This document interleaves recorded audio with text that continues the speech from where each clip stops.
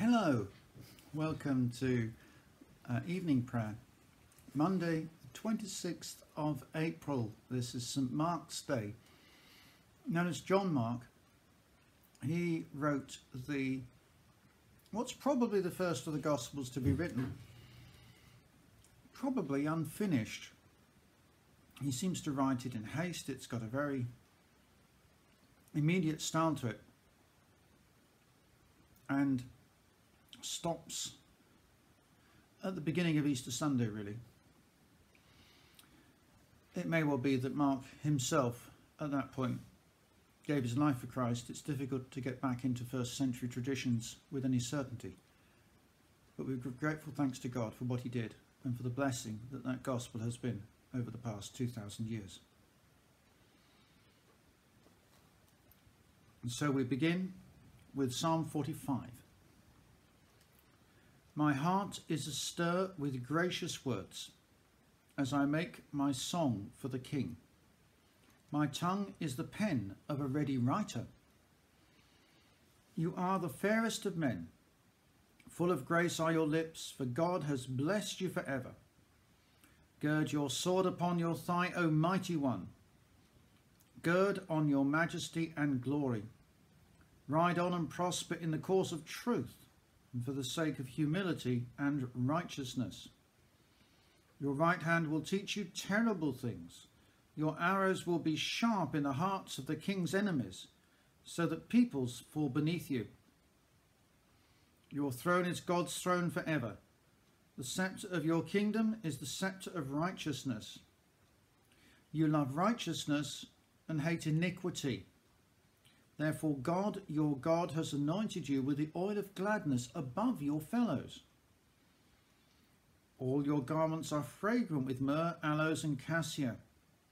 From ivory palaces the music of strings makes you glad. King's daughters are among your honourable women.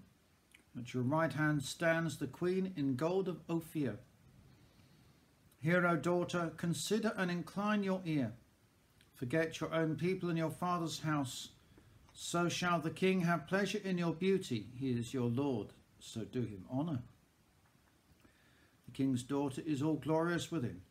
Her clothing is embroidered cloth of gold. She shall be brought to the king in raiment of needlework. After her the virgins that are her companions. With joy and gladness shall they be brought, and enter into the palace of the king. Instead of your fathers you shall have sons, whom you shall make princes over all the land. I will make your name to be remembered through all generations. Therefore shall the peoples praise you for ever and ever. Glory to the Father, and to the Son, and to the Holy Spirit, as it was in the beginning, is now, and shall be for ever. Amen. Might not make sense, particularly, as to why a psalm which appears to be something of a wedding song should appear. But then we have to think of the church as the bride of Christ and Jesus as the bridegroom. And today we read from the beginning of Ezekiel the prophet, and this is chapter 1 and beginning at verse 4. As I looked, a stormy wind came out of the north, a great cloud with brightness around it and fire flashing forth continually, and in the middle of the fire, something like gleaming amber. In the middle of it was something like four living creatures. This was their appearance. They were of human form. Each had four faces, and each of them had four wings. Their legs were straight, and the soles of their feet were like the sole of a calf's foot, and they sparkled like burnished bronze. Under their wings, on their four sides, they had human hands. And the four had their faces and their wings thus.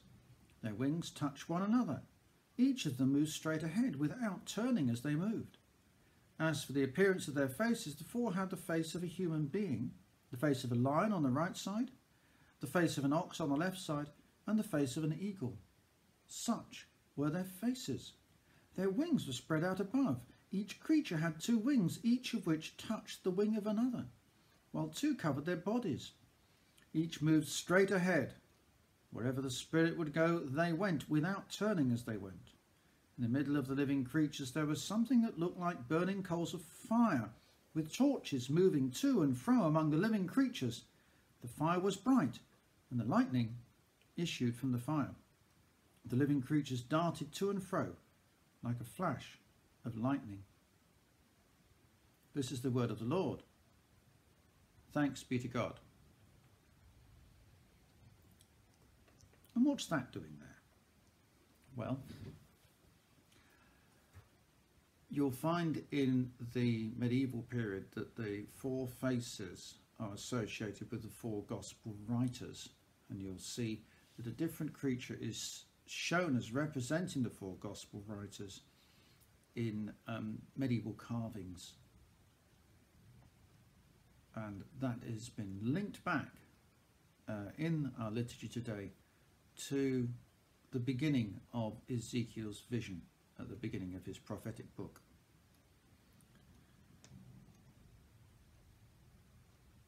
My soul proclaims the greatness of the Lord.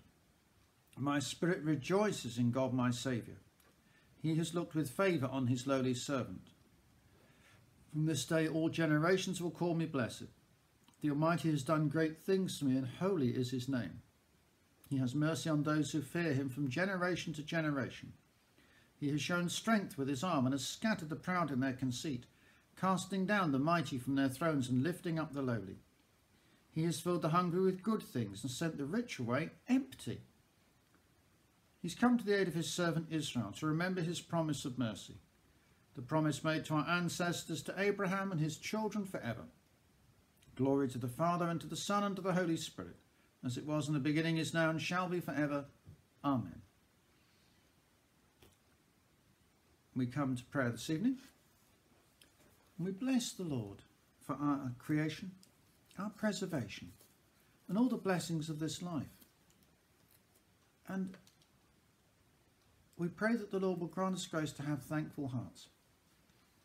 For those of us who are old, may the Lord grant us grace not to just look back with sadness at what we don't have anymore, but to give the Lord thanks for what we have, for all the good things that have been and the good things that are going to be, and for that future that we have without end. So, Lord Jesus Christ, help us with the way we think so that we are able to deal positively with all the challenges of this life. We pray for those who are young, that the Lord will direct their footsteps into positive ways, that the Lord will enable them to have good employment, and above all, that the Lord will raise up the new generation of young people to be trailblazers in the restoration of Christianity in the nation. We bring before the Lord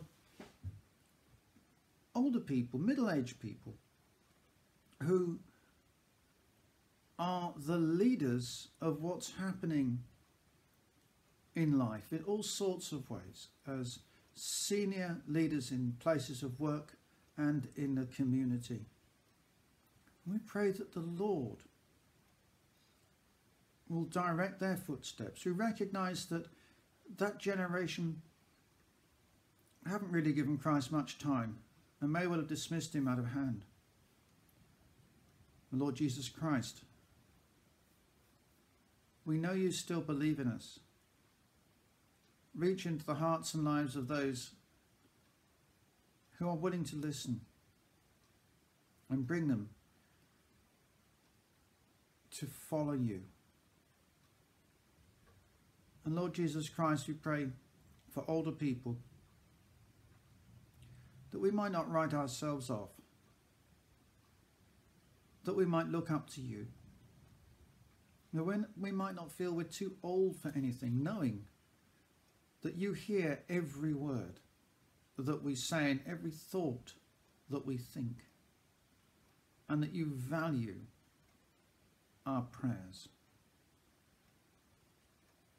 So, Lord, take us forward, each one of us at our different stages of life, that we might be a blessing to one another and to be with and to you. And we pray for all those concerned with children and young people, that the Lord might guide their footsteps, so that children might be blessed and nurtured, not just in being good citizens, but in remembering Jesus, Him crucified, risen from the dead, and Lord. Mighty God, who enlightened your holy church through the inspired witness of your evangelist St. Mark, grant that we, being firmly grounded in the truth of the gospel, may be faithful to its teaching both in word and deed, through Jesus Christ, your Son, our Lord, who is alive and reigns with you in the unity of the Holy Spirit, one God, now and forever. Amen. As our Saviour taught us, so we pray. Our Father in heaven, hallowed be your name. Your kingdom come. Your will be done on earth as in heaven. Give us today our daily bread. Forgive us our sins as we forgive those who sin against us. Lead us not into temptation, but deliver us from evil. For the kingdom, the power, and the glory are yours, now and forever. Amen. So may you remember that the hands that flung stars into space are stretched out to you.